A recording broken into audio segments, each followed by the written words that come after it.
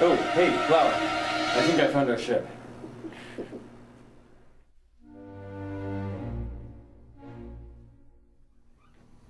Mr. Royce. Mr. Thompson, hey, come have a seat. Thank you.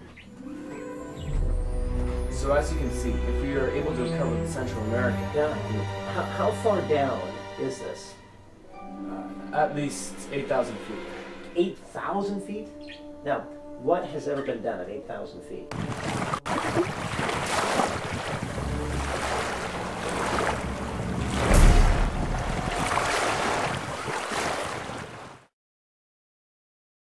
Shark! Shark! Shark! Shark!